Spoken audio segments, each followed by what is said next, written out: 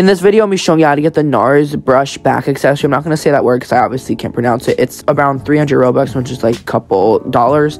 But yeah, um, you basically need to get it, and this is a limited item, and it'll be going limited. So yeah, um, you basically just want to, you basically just want to buy it, and then once you buy it, you should get it in your inventory. Now let's go check out in a second on how this item looks. So this is how you get it when you buy it. So this item looks really cool. I really like the texture of it. Really good with like black avatars not racist, just like black in general, like the color.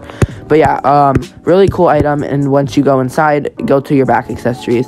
And once you do that, you want to go into there, and it should be there. I hope this video was helpful. If it was, make sure to leave a like and subscribe. And don't forget to turn on post notification numbers when I upload, and I'll see you guys in the next one.